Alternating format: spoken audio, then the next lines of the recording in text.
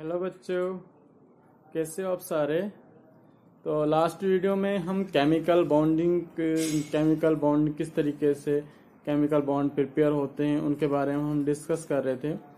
उसके बेस्ट पे हम कौशल लेविस अप्रोच थे, किस तरीके से बॉन्ड बनते हैं, उनके बारे में हम डिस्कस करते हैं कि ऑलरेडी किस तरीके से हमारे पास जो ऑक्टेट रूल है, वो फॉलो होता है एंड उस फॉलो होने के अकॉर्डिंग ही हमारे पास डिफरेंट मॉलिक्यूल्स प्रिपेयर होते हैं। उनके बीच में केमिकल बॉन्डिंग होती है और उनको हम किस तरीके से रिप्रेजेंट करते हैं। ये ऑलरेडी हम लास्ट वीडियो में डिस्कस कर चुके हैं। This video is mainly for कि how to represent structure in a different um, consequence and how to represent uh, these structure in a dot uh, cross manners okay? तो इन structures को हम represent करते हैं। और इसके साथ साथ जो हम एक्सप्लेन करते हैं वो है कि हमारे पास फॉर्मल चार्ज क्या है? कि फॉर्मल चार्ज हैं उस फॉर्मल चार्ज किस तरीके से निकाला जाता है? तो इनके बारे में हम वन बाय वन हम डिस्कस करने वाले हैं इस वीडियो में okay let's go octet rule तो ऑक्टेट रूल के लिए मोस्टली पहले Kossel and Lewis Kossel and Lewis scientist थे।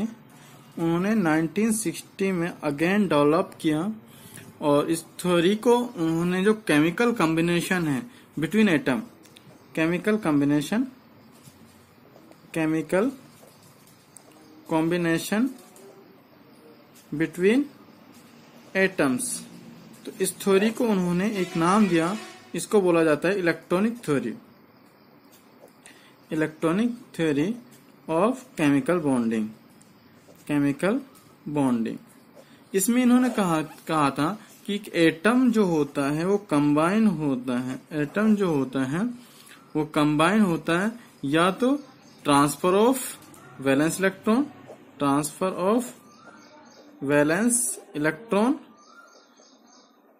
transfer of valence electron और by the sharing of valence electron sharing of valence electron sharing का मतलब होता है एक दूसरे के साथ वो कंप्लीटली शेयर करना। और ट्रांसफ़र या तो गेन कर रहा है गेनिंग ऑफ़ इलेक्ट्रॉन या फिर लूजिंग ऑफ़ इलेक्ट्रॉन्स ये दो चीज़ें हो रही तो in order to have an octet तो ये जो हो रहा है, ये किसकी वजह से हो रहा है? शेयरिंग और ट्रांसफ़र ये हो रहा है टोटली किसकी वजह से? ऑक्टेव को ऑक्टेट रूल को कंप्लीट करने के लिए. यानी अपने अपने जो ऑक्टेट है, उसको फुलफिल्ड करने के लिए. और इसी फुलफिल्ड की वजह से इसको जो नाम दिया गया है, वो क्या दिया गया था? ऑक्टेट रूल ओके नेक्स्ट है कि हमारे पास जो कोवलेंट बॉन्ड जो बनते हैं, वो किस तरीके से बनते हैं?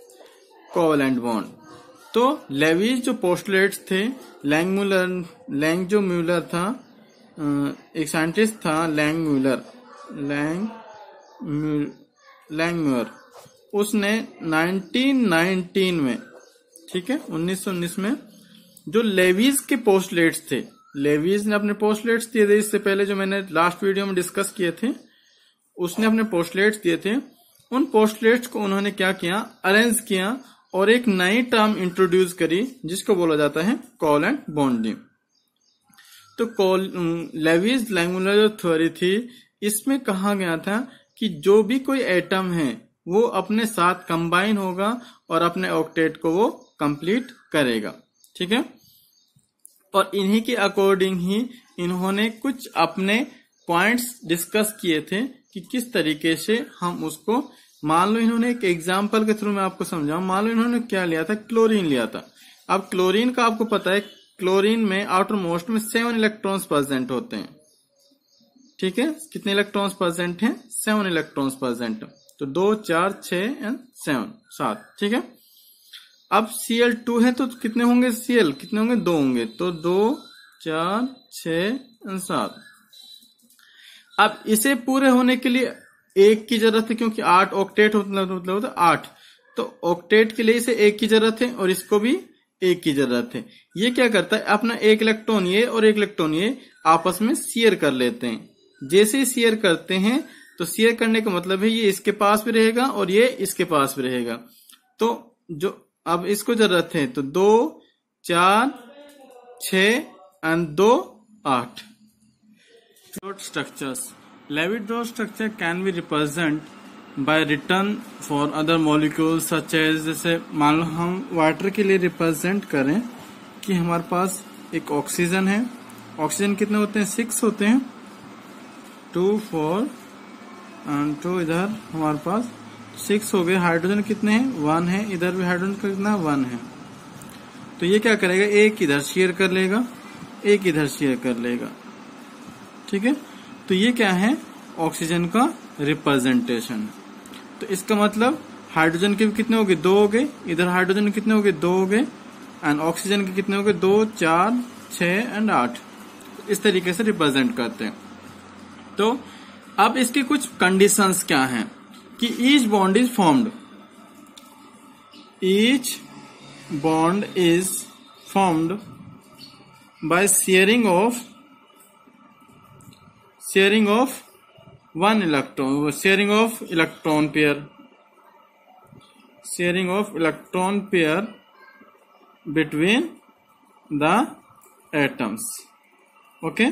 एक तो ये हो गया सेकेंड पॉइंट क्या हो सकता है each combining atom each combining atom atom contribute at at least one electron to the share जो भी कंट्रीब्यूट करता है, एक इलेक्ट्रॉन वो ज़रूर शेयर करेगा। ठीक है? और दूसरा क्या है? थर्ड क्या है?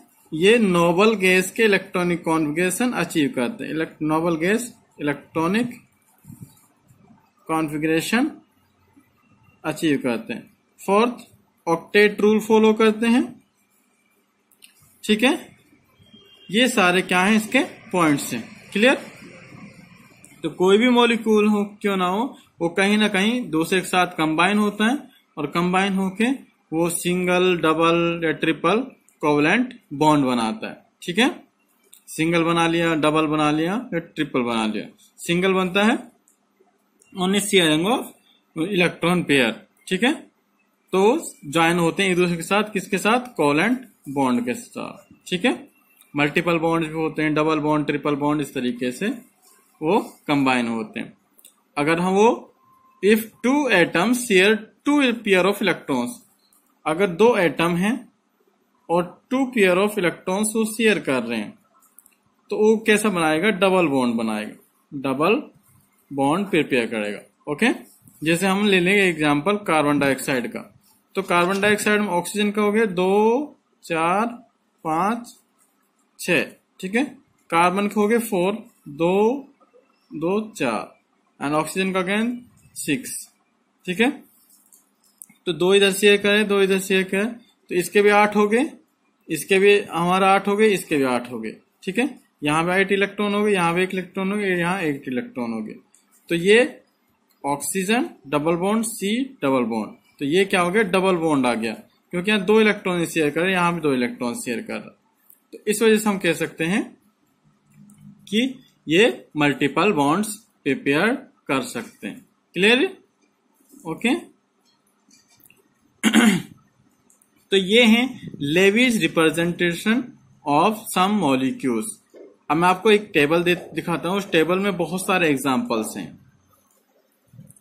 ये कुछ एग्जाम्पल्स हैं कि जैसे हमारे पास H2 है हमारे पास इस तरीके से रिप्रेजेंट करते हैं। O2 है O3 है NF3 है CO3 है HNO3 है। ये एग्जाम्पल्स हैं कुछ आप। क्लियर तो इस तरीके से ये डबल ट्रिपल बॉन्ड प्रिपेयर करते हैं। ये कुछ और एग्जाम्पल्स हैं इन्हीं के ही ओके तो I think all the students like my video thank you guys have a nice day